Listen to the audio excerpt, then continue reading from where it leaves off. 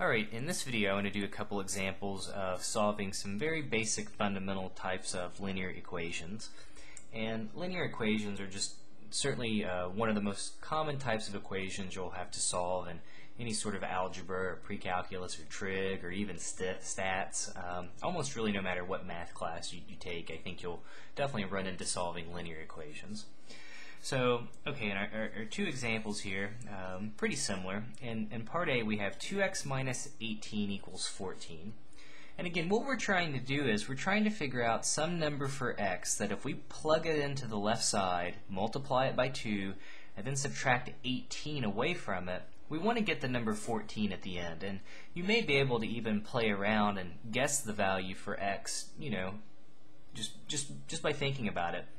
But obviously the thing that's important is having a procedure because you may have more complicated equations to solve and then, you know, you may not be able to guess.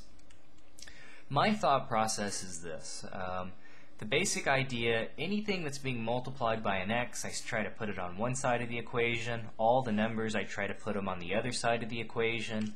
I combine all my like terms, and then I try to simplify the little bit that's left over. So in this case, there's not going to be a lot to do just because there's, you know, there's a pretty, it's a pretty basic problem. So, but I see, when I look at this, I see one, two, three terms. I see the 2x, um, I see this minus 18, and then I see this 14 on the other side. To, to move terms to either side of the equation, you either just add them or subtract them. So again, I'm thinking, well, I want to get the 2x by itself. There's a minus 18 hanging out over there with him and I don't want the minus 18 to be over there.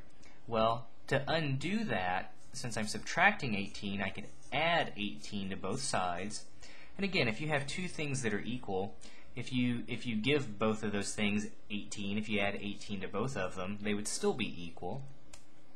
So the idea is we're left with 2x on the left. Minus 18 and plus 18 is just 0, so that cancels out or goes away we have 14 plus 18, which is 32.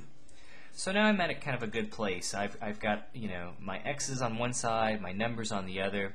And again, what I'm trying to do is I, I want to get x all by itself.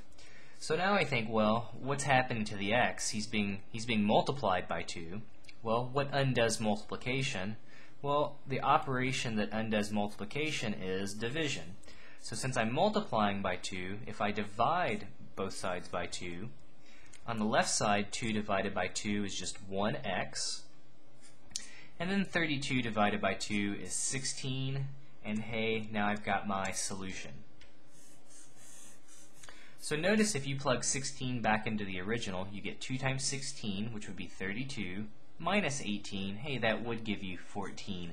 So kind of another important thing, you can always check your solutions. Okay, in our next one we have 4y plus 22 equals 0. Again, I want to get the stuff with the variable all by itself. Since I'm adding 22, I'm going to do the opposite, which is to subtract 22. On the left side, our 4y would just drop down. Positive 22 minus 22 would just leave us with plus 0. Again, we don't really write that.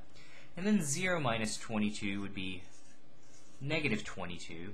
And again, now the same thing. Um, over here we were multiplying by 2, so we divided by 2. Well, now I'm multiplying by 4, so what I'm going to do is divide both sides by 4. And 4 divided by 4 would simply give us 1y. Again, we typically don't write the 1.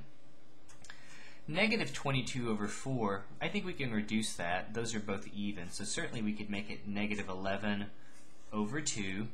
And since this doesn't reduce any further, I would just stop right there. You could turn this into a decimal. I guess that's uh, negative 5.5. You could turn it into a mixed number, negative 5 and 1 half. Um, but typically, I think in most classes, if you just leave it as a reduced fraction, um, that will be uh, that'll that will be what people want to see. All right, so in another video, I'm going to do some more complicated uh, linear equations uh, where we have to distribute and combine some more like terms. But uh, again, basic idea, try to put all the variables on one side, all the numbers on the other. Once you combine them, the basic idea is whatever, whatever number's in front of the variable, just divide by it, and then once you simplify it and do the arithmetic, you've got your answer.